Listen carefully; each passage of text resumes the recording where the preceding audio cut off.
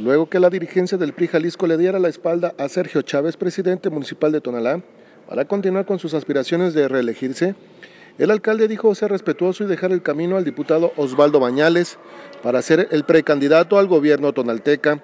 Sergio Chávez dijo que se concentrará en la conclusión de su administración y descartó contender por alguna diputación, ya que los precandidatos son colocados por la dirigencia nacional.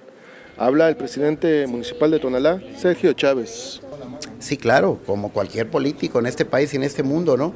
Si le preguntan ahorita a Donald Trump si no se quiere reelegir, claro que se quiere reelegir el señor, aún así que su mandato no lo lleva muy bien.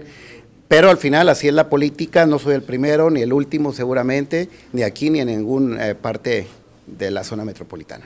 En el tema de la caseta de la autopista de Zapotlanejo dijo que no le compete a su municipio debido a que el responsable es el gobierno federal.